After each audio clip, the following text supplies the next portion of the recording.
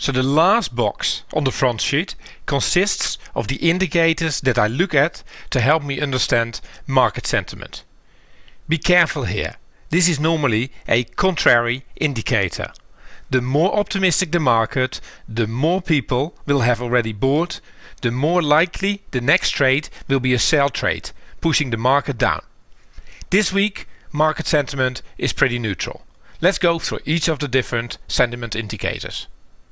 So the first sentiment indicator that I look at is the uh, the S&P COT oscillator. This looks at uh, S&P futures traders. It's a number between 0 and 100. If it's at 100 then uh, futures traders are as long as they have been over the last 52 weeks. If it's at 0 then people are as uh, short as they have been over the last 52 weeks. If it goes up it means people are getting more positive which as a contrary indicator that's a, that's a negative number for us um, and if it goes lower then people are not as uh, positive anymore they're starting to sell out of uh, long positions or going short and then the um, you know if that goes down then that uh, would be uh, interpreted as a positive number so last week the uh, the number went to 30%, um, just under 30%, which was up. It meant people went long, and we see that as a negative. Let's have a look at the chart. So here you see this uh, oscillator, it's between 0 and 100. Um, and you see here that uh, the last uh, the last week it was up a little bit. Um, it's still it's still at pretty low level. So on itself it wouldn't uh, mean that you uh, now need to immediately start shorting the S&P, but people are getting a bit more uh, bullish, and that you know that is a a small negative. Let's look at it over a longer time period and you see here again it's always between 0 and 100 it, it uh, moves around quite a bit. And it's based on um, the, the like I said the, the positioning of, of, of, of uh, speculative futures traders. And on the next page you can actually see how that works in terms of actual contracts. So here people have been uh, long uh, 300,000 futures in uh, the beginning of 2013 they've been very short at the end of 2011 and what this oscillator does is just standardize that between 0 and 100. Moving on to the next sentiment indicator which is the speculation index. This uh, sentiment indicator compares the daily volume in the Nasdaq composite as a ratio to the daily volume in the New York Stock Exchange. The issues traded on the New York Stock Exchange are considered less risky, safer, blue chip issues, while the issues traded on the Nasdaq are considered much more speculative. Therefore, as investors become wary and more risk averse, the ratio falls, indicating higher daily volume within the New York Stock Exchange than on the Nasdaq. The opposite holds true when investors gain confidence they begin to invest more speculatively and then the ratio rises as volume increases on the Nasdaq composite relative to the New York Stock Exchange. So last uh, week uh, the speculation index uh, increased a little bit, so more volume on, on Nasdaq relative to the New York Stock Exchange. So that's a little bit positive, which means more speculation, which uh, you know as a contrarian is a negative for us. Let's have a look at the chart. Here you see the five-year chart. You see between 2010 and 20 uh, the early uh, 2014 speculation uh, was rising, and in the past uh, year or so, uh, speculation has uh, come off a little bit, which as a, as a contrarian is actually a slightly bullish sign. Um, but in the last week, it's it's gone up a bit, so that's negative. And over a longer period, as we can see on the following on the following slide, um, you know, more volume on Nasdaq versus uh, the New York Stock Exchange. So, like I said, that, that makes it uh, more more speculative. But um, there has been a secular trend of more trading on Nasdaq anyway. So, if you really want to know, you would have to uh, discount it. But that, uh, you know, it's not really the idea here on a uh, week-to-week basis. The next sentiment indicator we look at is the uh, RSI on the S&P, Relative Strength Index, uh, very well known indicator. Normally perceived above 70, a market is overbought. Below 30, it's oversold. Um, at 50, it's, it's pretty neutral, which was the reading uh, last week. It was down a little bit, so sentiment uh, slightly um, more negative uh, week to week, which for us is a positive. So let's have a look at the chart. And here you can see that the RSI over the last couple of years has uh, varied between 50 and 70 and the market has still uh, gone up so it doesn't mean that when the RSI is in the uh, higher half that the market can't rally in fact uh, market can stay overbought uh, above 70 uh, for a very long time and still keep going up so it, it doesn't necessarily mean that you have to take the uh, other approach on, on, on a week to week basis, but we look at uh, how stuff changes uh, week to week. So for us, it, it is important. So let's have a look at the longer term chart. Here is a um, 85 year chart of the RSI. You can see here extremes between um, 86, which was in 1959, and 15, which was in 1962. So for the historians uh, amongst us, uh, might be an interesting uh, little fact to know.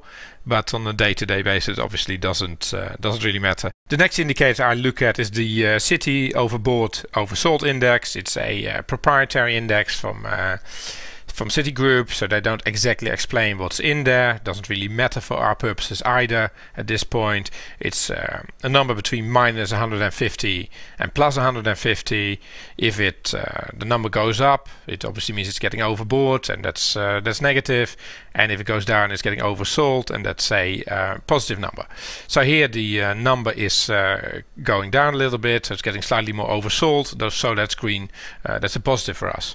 So I can have a look at the chart and here you see that uh, indeed it uh, varies between 150 and uh, minus 150 and it uh, is actually a really really good indicator at least over this period. Um, normally the buy signal as they say is created when there are three readings of 150 uh, on consecutive days.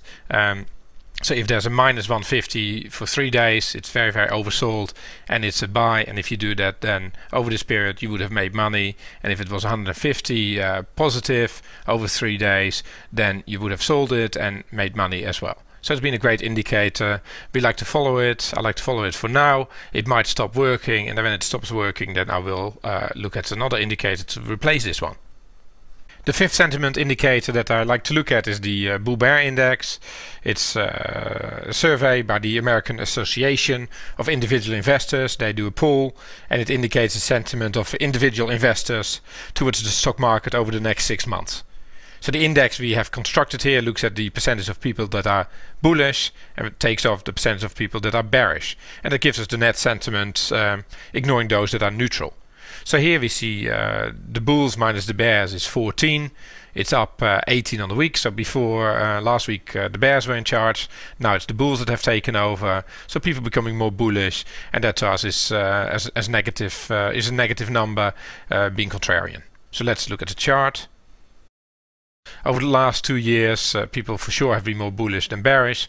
Market has gone up uh, anyway. So again, you can't just say, "Oh, people are bullish, I need to short it." Same as the RSI. It's just one of those indicators to take uh, into account, and that's why we look at uh, many different ones and not just at one. Over longer time periods, can do the same. And here you you know see period over the last uh, 27 years and it varies uh, quite a lot. And again, the extremes can be uh, pretty significant. You know, in 08, 09, there were some very, very negative readings there, and uh, the market uh, went up anyway. So extremes is the is the best time to use uh, this uh, indicator. The next indicator I like to look at is the VIX index. It's the volatility index. It explains how volatile uh, the market is. It looks at lots of options uh, to determine this on the Chicago Board uh, Options Exchange. At the moment it's uh, 14.7 which is a little bit higher than it was last week. It's higher, it means people are uh, slightly more uh, anxious, so there's a little bit more fear in the market. And when other people are scared, that means that we uh, should be thinking of possibly buying. So that's why a rise in the VIX is actually a positive number for us. Let's have a look at the uh, chart. So here you can see the VIX index over the last five years. It's been between just above 10 as high as uh, 40. Currently it's just under 15. Obviously very interesting uh, indicator to watch. And like we said before, for us it's uh, volatility going up is, is a bullish sign. But you can see here that uh, volatility can go up a lot more than it is currently. And if volatility goes up to back to the 40 level, then of course the market will be a lot lower than where we are today. Have a look at the VIX over a longer period. Here you can see it over the last 25 years and the uh, rise at 40 uh, in, as we saw on the chart, it was a lot higher in the during the Lehman crisis, almost twice as high. So volatility can go very, very high, and it can uh, destroy people.